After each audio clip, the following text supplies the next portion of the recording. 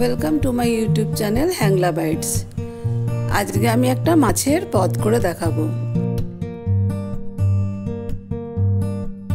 এই মাছ রান্নার জন্য আমি নিয়েছি ছটা পিস। এটাকে প্রথমে নুন হলুদ মাখিয়ে দু মিনিট রেখে দেবো।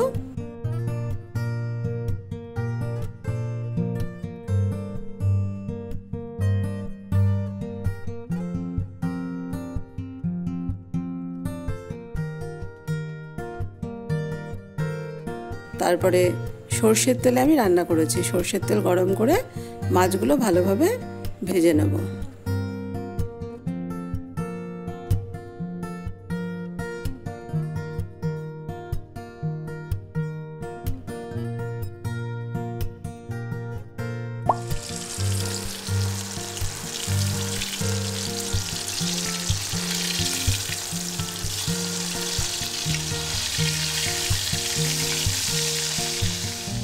আমি একটা বড় সাইজের টমেটো পুড়িয়ে নিয়েছি, সেই টমেটোটাকে ভালোভাবে মিক্সিতে ব্লেন্ড করে নিয়েছি।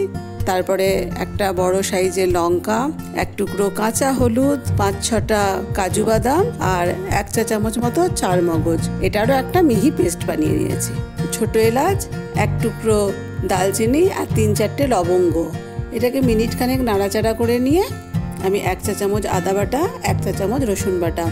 এটাকেও দিয়ে একটু নাড়াচাড়া করেছি।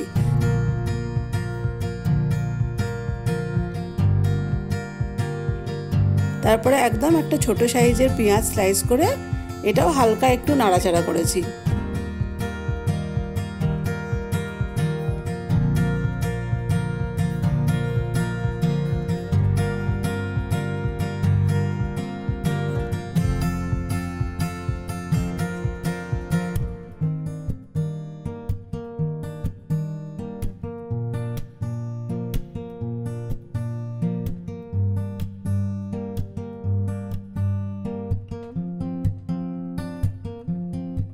এটা নাড়াচাড়া করার পর আমি টমেটো বাটাটা দিয়ে দিয়েছি। আর মিক্সিতে যে মশলাটা করে রেখেছিলাম, সেটাও দিয়ে দিয়েছি। দিয়ে ভালোভাবে প্রায় মিনিট পাঁচেক ধরে এটাকে কষিয়েছি।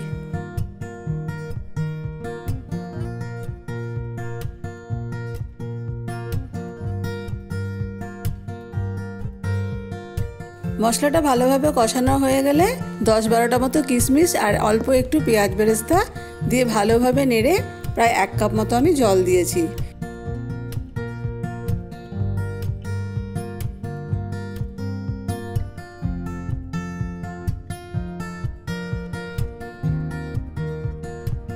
এটা যখন ভালোভাবে ফুটে উঠবে, তখন আমি ভাজা মাছগুলো দিয়ে প্রায় মিনিট পাঁচেক মতো ফুটিয়ে নিয়েছি।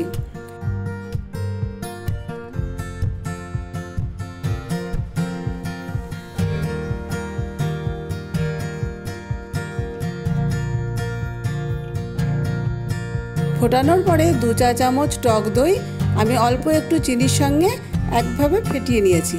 ফেটিয়ে এটাকে দিয়ে দিয়েছি। ফোটানোর পরে গ্যাসের ফ্লেমকে অফ করে দিয়ে ধনে পাতা কুচি আর একটু যে বেঁচে ছিল বেরেস্তা, সেই বেরেস্তাটাকে ছড়িয়ে ঢাকা দিয়ে প্রায় পাঁচ দশ মিনিটের জন্য রেখে দেবো।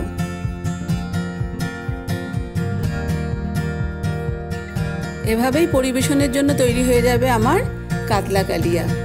এইভাবে মাছটা রান্না করে দেখবেন, আমাকে কমেন্ট করে জানাবেন। এই মাছ রান্নাটা আপনারা পোলাওয়ের সঙ্গেও খেতে পারবেন।